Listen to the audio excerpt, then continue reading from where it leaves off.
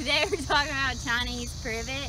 Um, it is a part of the genus Ligustrum. It is a non-native species and um, it's got entire margins on the semi-evergreen leaves which means it persists pretty well through the winter so it's an important deer browse um, during the cold months.